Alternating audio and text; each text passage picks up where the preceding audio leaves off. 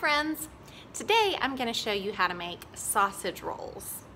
And one of the great things about sausage rolls is they are customizable. And that just means you can make them the way that you like them.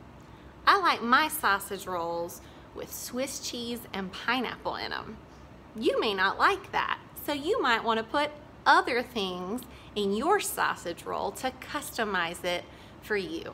Or you might even like yours plain. So I'm gonna show you how I like them and then maybe you'll try my way or your own way. To make the sausage rolls, you need frozen, raw dinner rolls that have been thawed out but have not risen.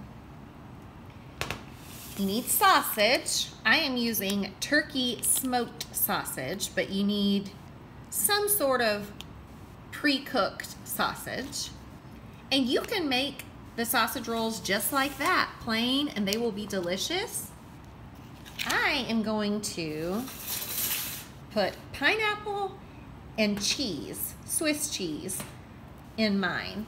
Might do some with cheddar also. You could also do, if you like spicy, maybe you could do jalapenos and cheddar. You can get creative. I've got my ingredients prepped. I cut my fully cooked sausage into about inch and a half to two inch pieces. I have my cheese cut into squares. And I drained my pineapple bits on paper towels and then dab the top. Now we are ready to put our sausage rolls together. To make a roll, I'm gonna take a piece of dough and a rolling pin and I am going to roll this out just about as flat as I can get it. I'm gonna go in either direction. Then I'm gonna take a piece of cheese, piece of sausage, and then three or four little pieces of pineapple kind of on either side.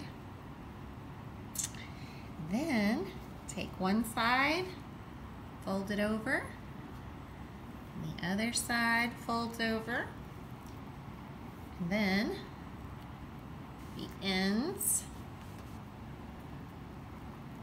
and voila, you have a package to put on baking sheet.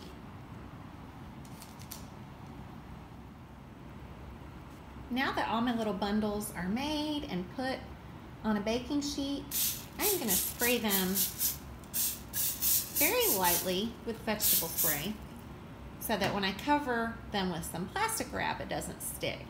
And then I'm gonna let them rise for about 30 to 45 minutes. And if you make these, it'll just depend on how warm your kitchen is. My sausage rolls have risen a little bit. They've puffed up some. So I'm gonna go ahead and put them in a 350 degree oven.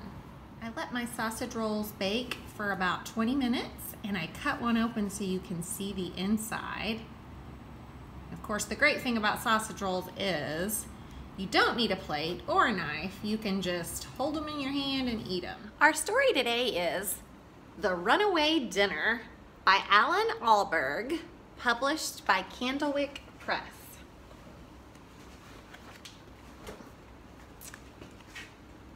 There once was a boy. Banjo, his name was. Yes, Banjo Cannon.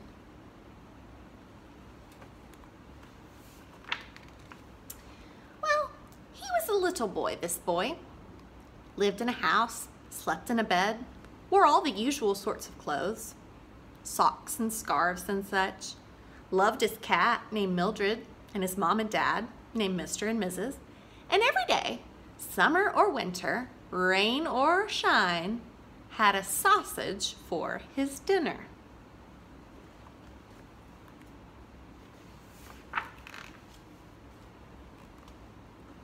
On his own little plate with his own little knife and fork and salt shaker and ketchup at his own little table with his own little chair.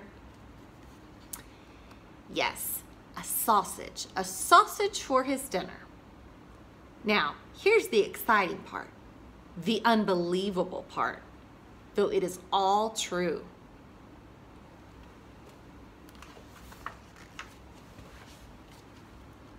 One sunny summer's day, just as Banjo, with his knife in one hand and his fork in the other, was leaning forward and smiling happily at the thought of eating his dinner, the sausage, Melvin his name was, jumped, yes, jumped right up off the plate and ran away.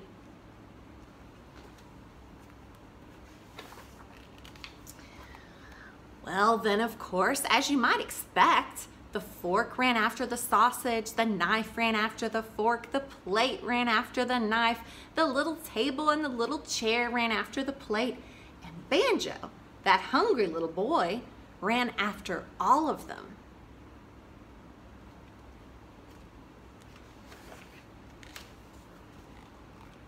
Actually, if you want the whole truth, he ran after a few others as well. You see, Banjo did not only have a sausage on his plate. That would be silly, wouldn't it? Just a sausage, one measly little sausage for a hungry boy's dinner?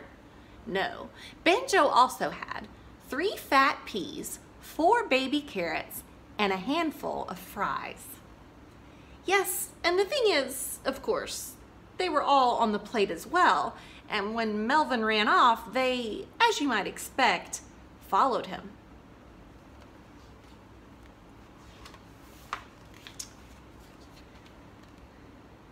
The peas, as it happened, were all boys, Peter, Percival, and Paul, and the carrots, all girls, Caroline, Clara, Camilla, and Christabel. As for the fries, well, there really were too many to name all of them, though being French, of course, they had names like Francois, Fifi, and so forth. So that's it, the absolute truth, the complete picture. See? Here they are, the whole lot of them, not forgetting Mildred the cat and Mr. and Mrs. and Bruce, the next door neighbor's dog. Nearly did forget him, though he was chasing Mildred actually, all racing down the road.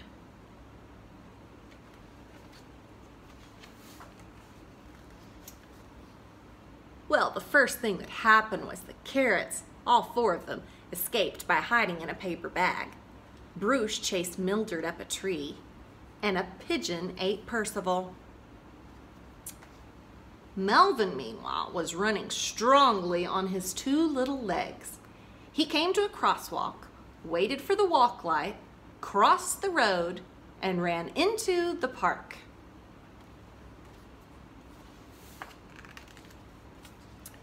The next thing that happened was Mr. and Mrs. bought three ice creams a couple of the french fries escaped by sailing away in a toy boat. Au revoir, bon voyage, hurrah!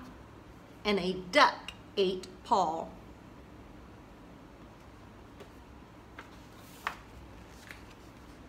Banjo, meanwhile, was running strongly on his two little legs, and the chair and the table were both running strongly on their four little legs.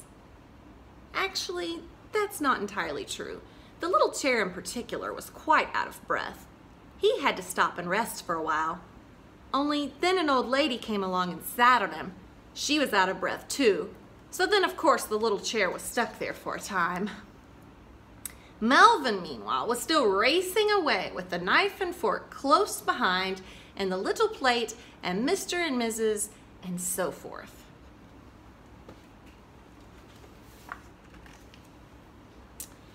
Presently, a picnicking family spotted the fork and the knife too and grabbed them. At the same time, a boiled egg named Billy saw what was going on and, in the confusion, ran off himself. A couple of little girls who were skipping on the grass spotted the plate and grabbed her. She was a girl plate. Saskia, her name was, and started using her as a frisbee, which, as it turned out, wee, the little plate much enjoyed.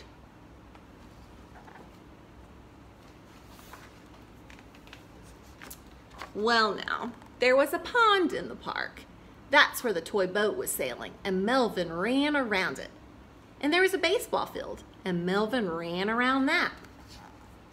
The rest of the french fries stopped here and sat down to watch the baseball game, actually, and nobody noticed them.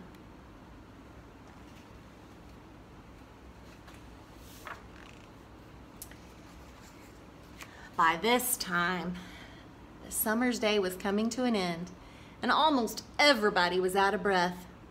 Melvin, that sturdy little sausage, slowed to a stroll, to a dawdle, and finally stopped altogether. Whereupon along came Banjo, that hungry little boy. Oh dear.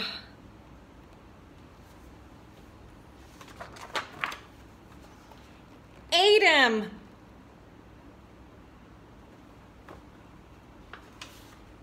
Well, nearly. He would have done, he really would. Only just then along came his hot and bothered poor old mom.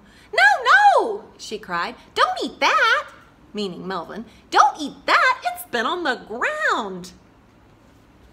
The next thing that happened was Melvin seized his chance, ran off again, and hid in the long grass, where, as it turned out at that very moment, the baseball, named Marlin, was also hiding.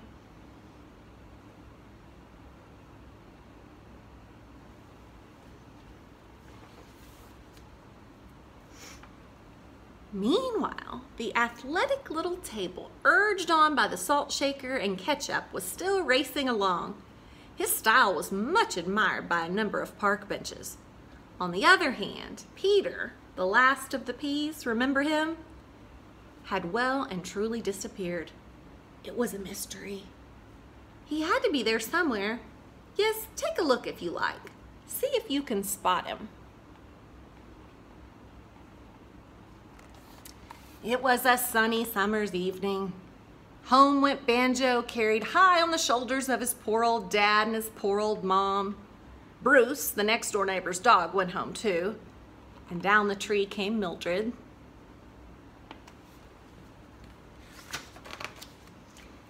So there we are. That's the story. Full of such fun, don't you agree? And exciting stuff, yes. Of course, poor little Banjo is still hungry hungrier than ever, in fact. Luckily, help is at hand. You see, every day or evening, rain or shine, summer or winter, after his dinner, Banjo has a plum pie for his dessert. In his own little bowl, with his own little spoon and his own little pitcher of cream. Yes, a plum pie. A plum pie named Joyce on this particular occasion for his dessert. So that's all right.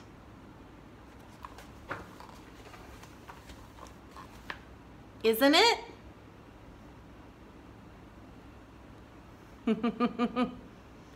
Do you see Joyce? There's Joyce.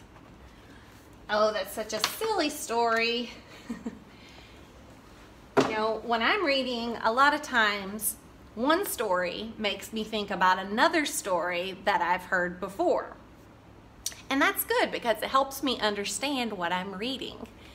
And this story makes me think of The Gingerbread Man. Have you ever read this book? It's a classic. If you haven't, you need to. This version is by Jim Aylesworth. And I don't want to give too much away, but there's similar things these two books have some things in common, and there's things that are different about the stories too, of course.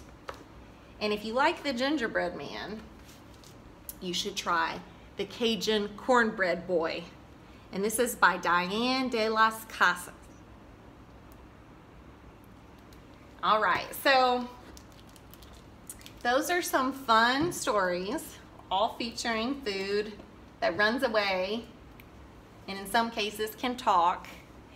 And those are, are fun stories to enjoy. They're silly. and that's all the time I have for today, so I'll see you next time.